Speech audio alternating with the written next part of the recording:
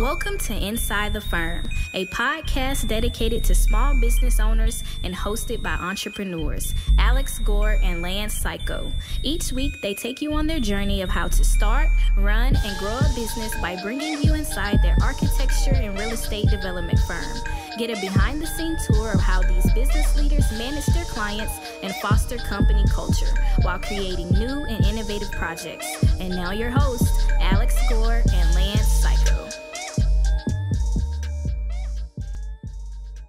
Welcome to another episode of Inside the Firm. I'm your host, Alex Gore. I'm here with the one and only Lance Cayko, everyone. Lance Cayko. I always, professional fisherman, yeah, part-time architect.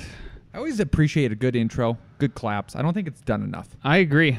It's Awesome. almost as solid as uh, free high fives, fist bumps, fing- you know, Finger guns. finger guns at the AIA. So Yep. stop by the ARCAT booth. You get all of those. Yep, You do it free. to us, you'll get it back twice as 100%. much. So I uh, will do. I will do a double fist bump. I will do a double handshake. I will do a special handshake. Can you even? I, if someone comes out with two hands, I will go over. Yep, 'Cause That's the way to do it. it's it. no problem. It's no problem. One of you. Yep. One of you, please. Yep. Do it. Lance looks like that. I look like this. There you go. Speaking of being cool, Revit rocket ship is cool. because, ra- because rocket ships are cool. That's what I hear. they go up sometimes. Sometimes, sometimes they blow up. sometimes they blow up. So they do two things that are awesome. This will not do either one of those. Okay. Except it will up your skills at Yeah. Revit because we have trained, uh, by this point, hundreds of professionals. Hundreds. Wow, Al, that's quite the I'm s- accomplishment. I'm, serious. Thousands I of believe students. you. I believe you. Yeah. Now those students, a lot of them are professionals. So maybe thousands of professionals. Mm-hmm. Our own staff. So you get the inside view of an actual architecture firm, how you train to be competent, to be professional, to be quick. RevitRocketship.com. Check it out. Money back guaranteed. You also need to check out arcat.com. Why? Because as more business is and tenants demand green design in their building, LEED certification is more important than ever. And while ARCAT is known for being red with their logos, they can help you go green. ARCAT provides thousands of LEED reports from building product manufacturers on how their products can help you make the green choice that's right for your project. Head over to arcat.com and find the information you need for a LEED. That's A-R-C-A-T dot com. I also want you to check out, of course, last but certainly not least, Pella Luxury. You have never experienced a brand like this before. The collection of brands within the luxury division of Pella are the conversation starters, the pioneers of industry who provide window and door solutions to discerning architects, the building industry, and beyond. They have decades of experience creating things no one else in the world is creating, and the collection of brands are brought together to complement and build on one another. They don't push beyond the limits. They set them. Explore PellaLuxury.com forward slash the firm today. That's PellaLuxury.com forward slash the firm today. Back to you, Mr. Gore. Lance, what do you got for us? Back to me. I have a really interesting article that I heard on the Adam Carolla podcast this week. I highly encourage everybody to check out Adam Carolla podcast. He is no sponsor or anything like that. But one of the best interviews I heard lately was uh, he had Mike Rowe on. Oh, It was- nice. it was so good. It was so good. Uh, just down to earth kind of a discussion. Um, a lot about uh, that we as as we as the world increases to be an ever more digital world, how important it is for uh, us as humans to not forget about all the tangible stuff, right? Sure.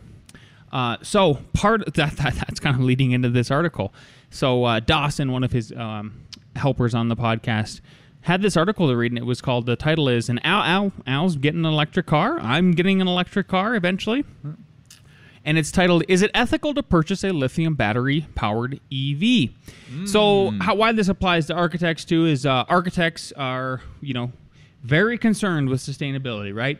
Chances are you have an uh, environmental design degree, like your it's your job to understand how to design with and for the environment, built and natural, right? So it's a short article here. It came out uh, about four days ago on June 13th. Uh, the author is Ronald Stein. So it goes on to say with numerous state governors having issued executive orders to phase out the purchasing of gasoline driven cars within the next dec- decade or so, and automobile manufacturers' efforts to phase into only manufacturing EVs here, here's some food for thought about the lack of transparency about clean energy exploitations. Hmm. The typical oil well, where 100% organic material is pumped out of the ground, takes up around 500 to 1,000 square feet. Then it flows into pipelines, safely transporting the oil to refineries to be manufactured into usable oil derivatives that are at the basis of more than 6,000 products for society, Al. Nice. Wow. Chances are the shoes you're wearing are probably a derivative of that, like Yes. the laptops, the microphones, all, all the things, right? In and into transportation fuels needed by the world's heavyweight and long range infrastructures of aviation, merchant ships, cruise ships, and militaries. I don't know if you've ever built a building, Al. I have actually. Really? Yes. But it seems like you have to have some heavy equipment that run on what? In order to do the jobs. Hopes and dreams. Hopes and dreams. I would call it diesel. Ah. I got confused. Sorry. but that's what it takes. Uh, the so then the, the, then he goes on and he said that there's an there's a there's an image in the articles. If you're watching on YouTube, you'll be able to see it. The lead image above is just one lithium supply mine, where entire mountains Whoa. are eliminated. Let me repeat that: entire mountains Whoa. are eliminated. I don't know if you are following along with me and on this podcast, but I am into mountains. Yeah, you are. Uh, They're taking them away from you, Lance. Uh, They are, and the fish that go with them. Each mine usually consists of 35 to 40 humongous 797 Caterpillar haul trucks, along with hundreds of other large equipment. Each 797 uses around half a million gallons of diesel a year. Not hopes and dreams, like I would, I was thinking we would build buildings with. So, with an inventory of just 35 haul trucks alone, are using 17.5 million gallons of fuel a year just for one lithium site. How much? 17.5 million gallons of fuel a year for just one lithium site for your precious lithium ion batteries Yes. in your future Tesla truck Yeah. or whatever, you- Cybertruck. Uh, there is virtually non existing transparency of the environmental degradation and the human rights abuses occurring in developing countries with yellow, brown, and black skinned people. Both human rights abuses and environmental degradation are directly connected to the mining for the exotic materials and metals that are required to manufacture wind turbines, solar panels, and EV batteries. Today, a typical EV battery weighs 1,000 pounds. Yeah. It contains 25 pounds of lithium, 60 pounds of nickel, 44 pounds of manganese, 30 pounds of cobalt, 200 pounds of copper, and 400 pounds of aluminum, steel, and plastic. Inside are over 6,000 individual lithium ion cells. It should concern you that all of these toxic components come from mining. For instance, to manufacture each EV auto battery, you must process 25,000 pounds of brine for the lithium, 30,000 pounds of ore for the cobalt, 5,000 pounds of ore for the nickel, and 25,000 pounds of ore for copper. All told, you dig up 500,000 pounds of the Earth's crust just for one battery. 5,000. Last paragraph here. but that's a lot, man. Yeah, I don't think the last paragraph is. Go, go ahead. Anything good? Yeah, it's just. Oh, okay. Well, anyway, so yeah, let's. I won't even go there. You can read it if you want to. You just go to uh, just Google. Like I said, I all I did was Google. All I did was search. It is is it ethical to purchase a lithium battery powered EV? There's also some really s- interesting links he's got in there. So the the first paragraph cited clean energy exploits. Um, it is a uh, a book that was. Uh, I'm actually gonna buy this on um, Kindle or not Kindle, but um, audiobooks and uh, listen to it over the weekend. Uh, clean energy exploitations, helping citizens understand the environmental and humanity abuse, humanity abuses that support clean energy. So, if you uh, wanted your thoughts about all this, Al. Uh first I I believe and I think it's true that high fuel prices will cause more death than climate change. And I know that that might be uh, controversial or Wow. a different thought, but Quite the takes already. That's what I'm looking for. The hot takes. one of the reasons why is His middle name is Hot Take. Al Hot, Take Gore. or, or Oracle, whatever you want, whatever you want to say.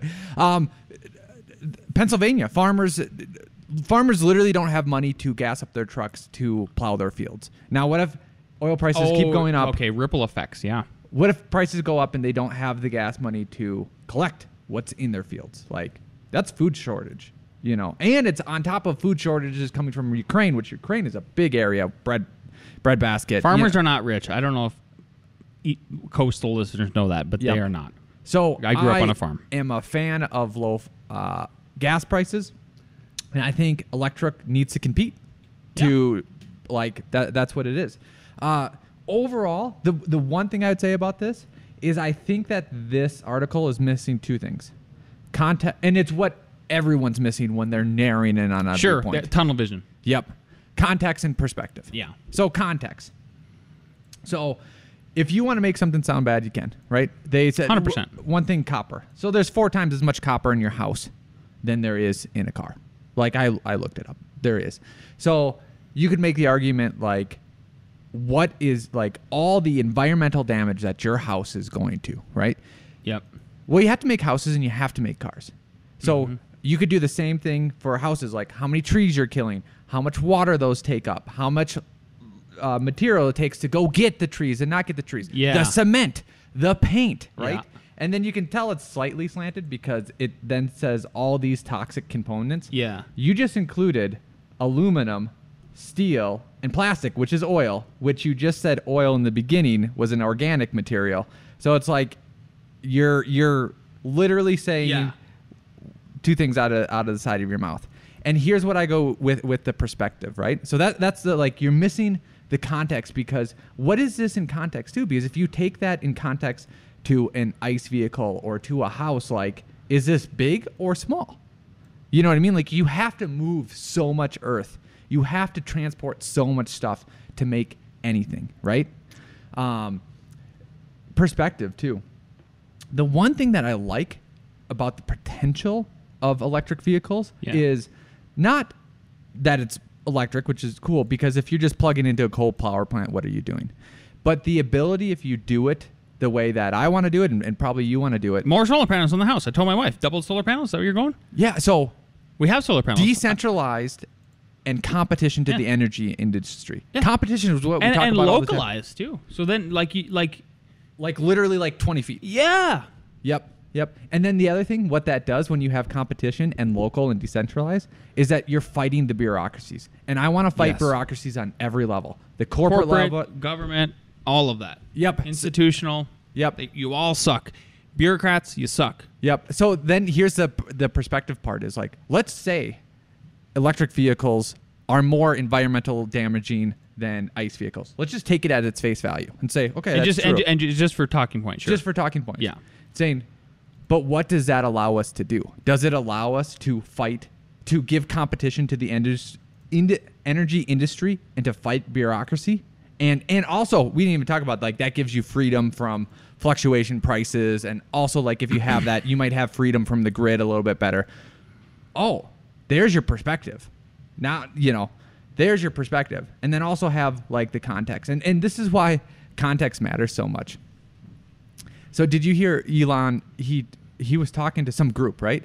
And he said in Texas we built the whole factory. Have you seen this factory? It's huge. Yeah. Yeah, in 18 months. He goes in California, it'd be two years before we got permitted. Oh my gosh. And then you know what he said? And he goes, and you'd get sued.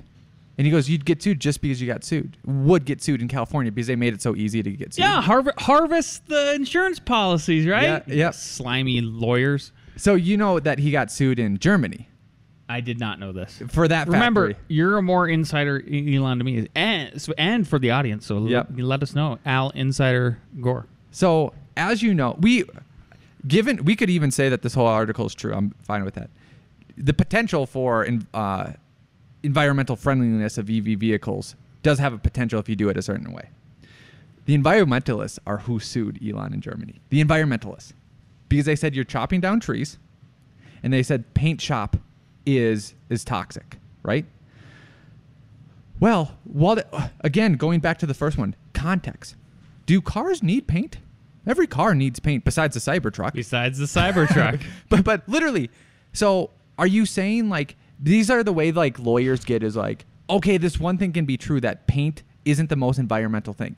So I'm gonna sue your whole company and hold up everything because of this one truth, and you have no context into If we're gonna make cars, we're gonna make paint. Can we agree to that? Oh, like literally, I just want to know where you're coming from. Yeah. Are we going to make cars? Okay, then you got to allow paint to happen. You just have to, right? Um, or else because someone else can make cars with paint. So what are you even doing here? You're just suing for what? You're just and they would come Well, up with a whole money, bunch of yeah. ex- excuses and Yeah. blah blah blah. It's nonsense. Shut your mouth. like have some context and perspective. The the the point I liked uh, that you brought up the most, and the the only reason I was bringing in up up this article was I I just want people to think things logically all the way through, and consider consider things holistically, right? So th- so what I appreciated was when you brought up like, well, we could talk about the houses in the same kind of way. We could say Right. like houses are you know toxic, and all Steel, wood, concrete. It doesn't matter. Like there's there's impacts for everything. And it's just a weighing and a balance. But again, it's not this idea of one size fits all. Just think about the poor person who is just think about the poor landscape guy or gal who is driving who has is having to drive a big truck every day to work they're already it's already tough for them to make ends meet like is this if we are so concerned about especially the poorest among us and, and not to mention even minorities but to mention minorities if, if that's our if that's where we're at it's like then what uh, is asking them to just ah, just buy an electric car like Oh. come on come on Yeah. Yeah. so, uh, okay. Uh, next thing I wanted to talk about was sales. So Al and I have been. Um, I, I, I was interested because I, I think I think one of our uh, favorite contractors, Brian Tinker, brought this up to you one day. Is that he was he sort of convinced you maybe or just helped plant a seed. You have to tell me if I'm wrong now, but that like it's okay to lose sixty percent of sales. Like you only want forty percent. And I can't remember if he said that to me or to you. Honestly, Okay. I thought he said it to you. I thought he said it to you. Uh, either way, so what I did is I look. So we've been uh, Al and I have been uh, raising fees to the best of our ability, trying to understand where the market's at, where it's going. Just like every business owner, uh, sales are everything. Profit is your lifeblood, right? And so it's like, should you? What is the? Uh, and then once you get once you become a seasoned owner or business person or entrepreneur, I really think there's a certain point where you're like, I don't, I'm comfortable losing this job. I'm, I'm, yes, I still want this job, but like getting really comfortable with trying to command higher fees and better projects, better clients, Gotcha. and then getting comfortable with losing out more. So I've got an article pulled up from, uh, it's called RainSalesTraining.com, and the title is Average Article, Average Sales Rates. How do you compare most seller? And so uh, I just want to go over some quick things briefly. Uh, I've got he's got a chart, and basically all he says all across all respondents, the average win rate is forty seven percent, meaning you meaning you will you will get forty seven percent of sales. So without going into all the details and everything, I just think that like okay, if if if a seasoned uh, general contractor veteran uh, has told me and Al, who is and this guy has you know a decade more of experience than us, and he's been doing it right for you know the like decade long or whatever. If then another person is saying, yeah, it's okay to lose more than fifty percent of your the, the business you go after, yeah. um, I just wanted to like, I'm have I'm for me it's been an epiphany this last year. Of, it's okay to weed out through higher fees, and being comfortable losing more. I, I agree with that. Um, because also too, if your win rate is higher but your price is lower, I saw this in the lumber industry, like um, because we knew people in the lumber in- industry, and it was yeah the the salesman keeps getting sales and like gets great commission, but like now we have now we are pressured to execute on that low margin. Know? exactly. Yeah. Yeah. And I think yeah you got to leave. There's got to be meat on the bone for incentive. Yeah. right? I think that's the best way. So if you're out there and you feel like you need to win every sale, please don't. Uh, please don't feel like you're obligated to. And understand that we are telling you, uh, people are telling us, multiple people, and then the research shows that like the the the best kind of sale is probably a balance between not winning all of them and trying to command the highest fees possible with the best quality clients. Pretty obvious once you state it, but There you go. uh, Al, the Oracle Gore, predicted the latest Federal uh, Reserve rate hike, which was 0.75 percent, 75 points. Yep. Congratulations on that. So, with rising interest rates, higher construction costs are going to slow housing production, according to NAHB, which drastically affects uh, every, uh, most people who are listening to this podcast business, especially if you're doing um, housing, but also commercial goes into this too, because everybody's getting loans to build buildings, right? Not a lot of people just purely build them with cash. Um, so I wanted to see, you know, what is it, what does any, what does the National Association of Home Builders have to say um, in regards to like what does this mean for everything, right? So the May reading of 1.55 million starts is the number of housing units builders would begin if development kept this pace for the next 12 months. With this overall number, single family starts decreased 9.2% to a 1.05 million seasonally adjusted annual rate. The multifamily sector, which includes apartment buildings and condos, decreased 27, 23.7% to an annualized. That's kind of a giant drop, right? Yeah. Technically, you could say so. A crash is defined as anything over 20% difference. That would mean that multifamily technically is crashing year over year. Just saying. Yep. Uh, single family looks like it's correcting. Um, so, uh, and then in some further signs that the housing marketing is weakening, single family permits are down 2.5% on a year to date basis, and home builder confidence has declined for uh, the last six months. Due to the acceleration in construction activity in recent quarters, housing completions are rising. Single family completions were up 8.5% in May 2022 compared to May 2021 as inventories rise. Uh, so, um, what I think this means overall is again, it still points to this big supply crunch that is happening. And my wife and actually Jason Bus upstairs was even talking about this. I hadn't heard this, I hadn't heard people doing this for a while, but it was so weird how coincidental it was. In the morning, Jason was like, I don't know if he has a friend who's a lender or, or something like that, but he was he's he was like, oh yeah, I got my, my friend was telling me for the first time since 2008, they have had somebody come in and say, "What do you think about an adjustable rate mortgage?" I I'm know- sorry, I, I I know. got scared. Yeah, I know. And but let me let me let me just talk this through with you. Talk me into it. Because like he's just like a scared little puppy dog over here. Now. Yeah. Don't hit me. uh, I'm a good dog. yeah, I got in 2008. yeah, I got really smacked hard 2008. Uh, and then my wife, so I'd, I'd, lunch with my wife yesterday. And same thing came up. She goes, I'm actually having to. So she's also a mortgage broker now. And so she said I, she's she's going to have to educate herself and, and get like up to speed on how to explain and demystify what and try to not scare folks about it's okay to maybe do adjustable rate mortgages. And I know you're just like everybody's listening, going "Uh," inside. So the idea is, the idea is here's the idea. People are so so the the system, aka the Federal Reserve and like the whole game system, since they pushed up the interest rates again, which they have to do to try to fight inflation that they created, right? So like anyway, so so they have pushed mortgage rates to over six percent now.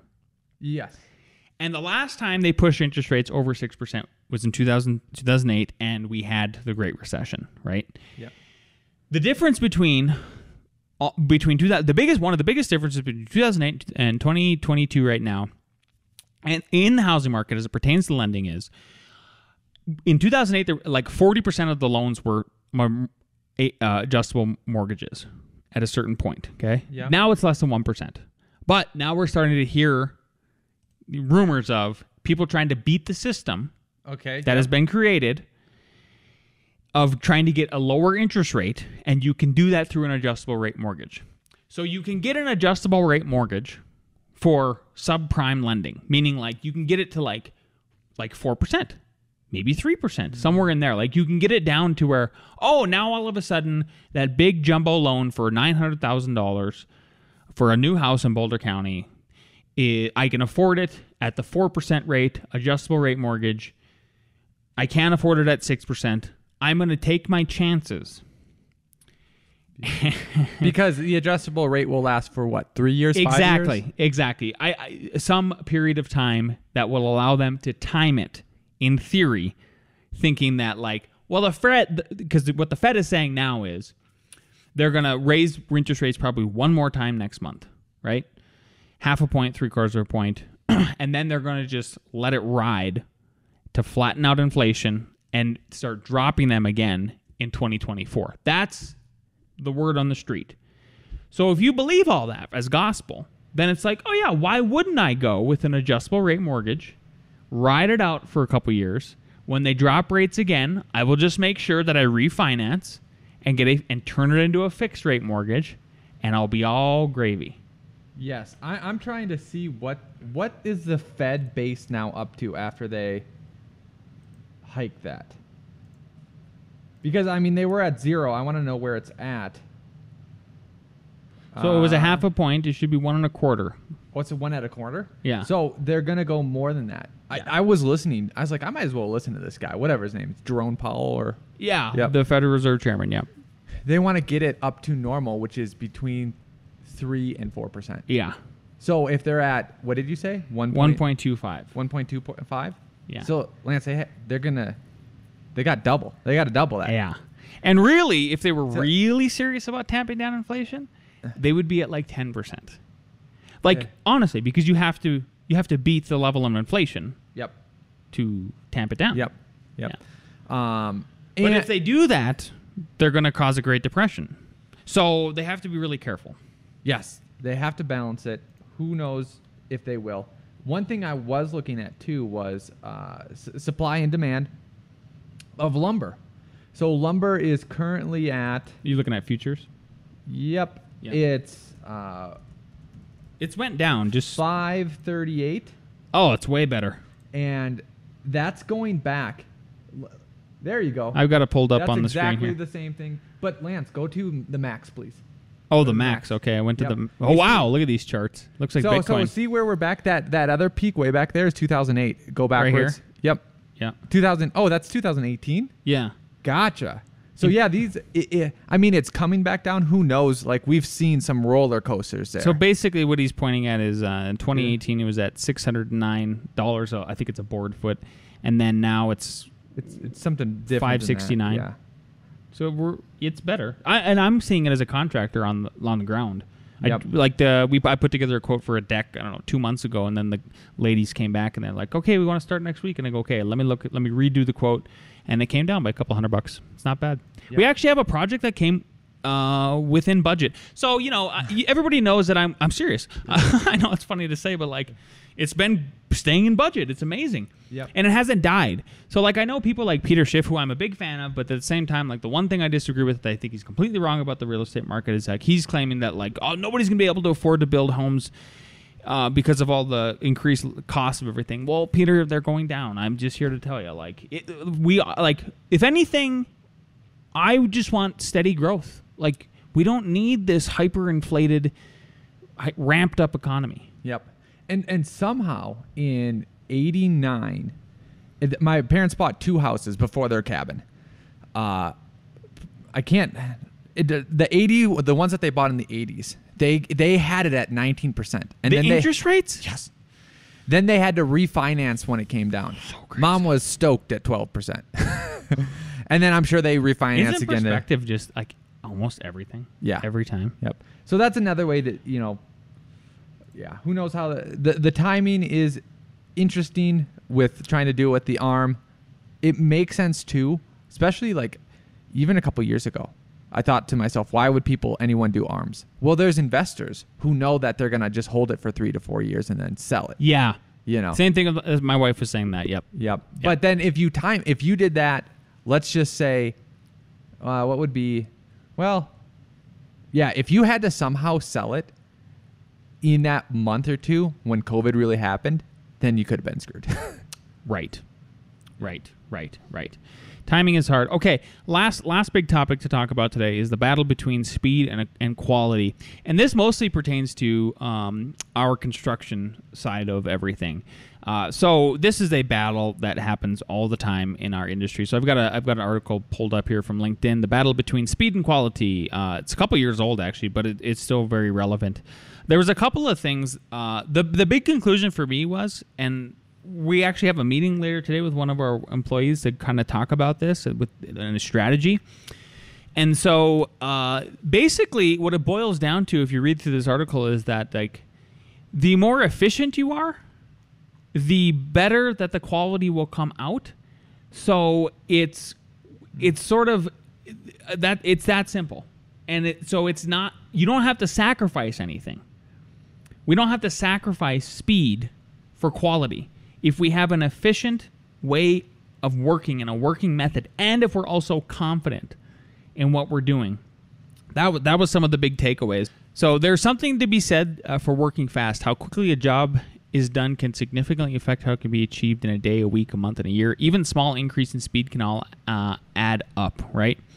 Um, so what you want to do is so in today's workplaces, working faster is really uh, all about doing work in the most efficient way possible. This includes minimizing or eliminating interruptions from text messages, instant messages, social media. Um, and this is the big one. It, in, it also includes creating a physical workplace that eliminates waste of motion. For example, if an employee has to visit the supply room, or if they have to go off the job site to go get materials, right? Or a tool, especially if it's like a two man crew. Think about it this way. Here's how what, uh, what I boiled it down to. It seems like there's this in between. It's sort of if it's a one man crew, well, he almost has no choice to go get the materials himself if there's nobody else available to do it. Is he wasting time? Not really, because there's not if it's not like there's a two man crew there. One guy went to go get the stuff, the other guy's just twiddling his thumbs. You know what I mean?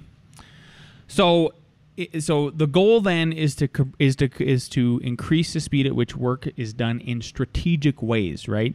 So what I put together then, um, and I'll pull it up here real quick, is I put together. You can see it on the screen. A couple examples of drywall crew crew example of the most efficient crew model, and I and I cited like who should be doing what. There's a cut man. Al loves this term, cut man. Cut man, for example, tasks are staying ahead of screwmen cutting drywall, temporarily setting drywall in place ahead of screwman. No one is ever waiting on the cut man. Cut man's always ahead of everybody. Yep. He's got Caprice's cut ahead of everybody. He's thinking ahead, right?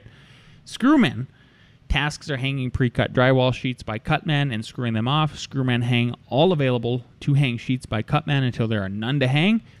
When initial initial hanging sheets are pinned with only a few screws to hold them up, there are none to hang. Then they screw the drywalls off completely until there are no more to hang.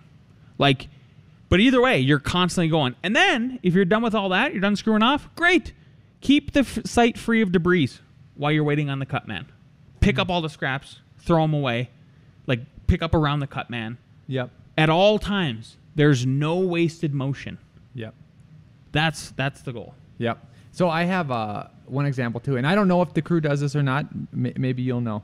So when I was, I was doing the last task at my house. I was building a custom closet solution and then also installing pre-made things. And you know how things come up like, oh, need drywall anchors. Oh, need another piece of this. And every time I came to something I needed, it was, oh, you just literally write that down on the list. Yes. And what else can you do? Because then by the time you do those four smart, other, f- smart, you know, well, you, then, you didn't waste the motion at all. Went there once instead of four times. Yeah. You know, um, yeah, that's that's a big one. I think this is one. the kind of the crux.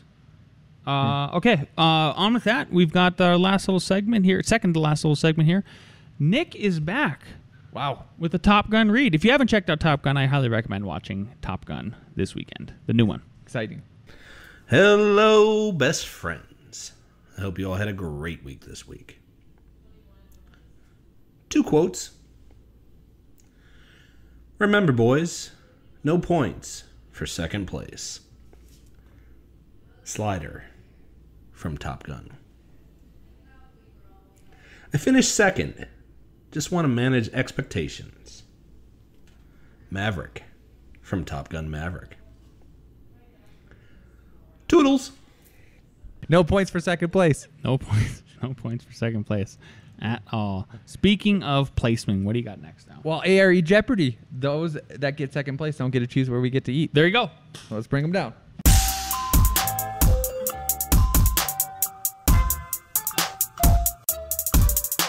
Question number one Who is responsible for keeping official records of application received for permit, fees collections, and reports of inspections?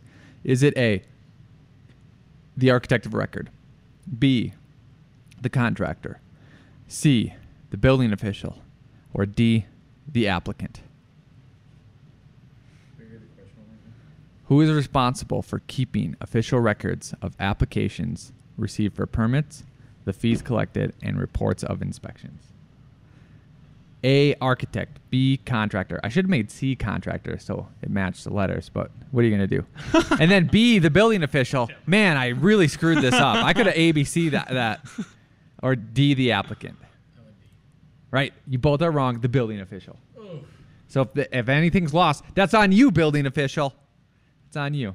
Also, keep good records yourself. Uh, question two: In a flood plain, how many square inches per square foot of enclosed area should flood openings be in a crawl space? Is it A one inch, B two inch, C three inch, D four inch? So for every square foot you have in a crawl space, if it's in a floodplain, how many square inches of uh, vents should you have for flood vents? Perfect. One one inch and two inch. It is a one inch. One inch per foot. Easy to remember. Number three, as it pertains to common electrical abbreviations, what does C slash B stand for? Is it A, common breaker? Is it B, circuit breaker? Is it C, critical breaker? Or is it a, or is it D, circuitry billow?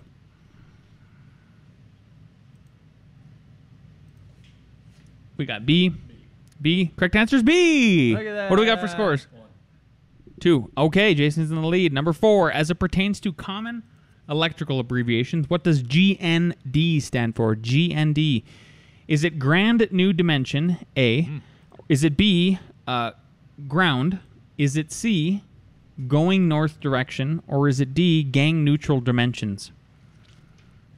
What do we got? B. B. Correct answer is B. Jason wins. That's it. That's it. Jason, where are we going to eat? Long's Peak Town. Congratulations.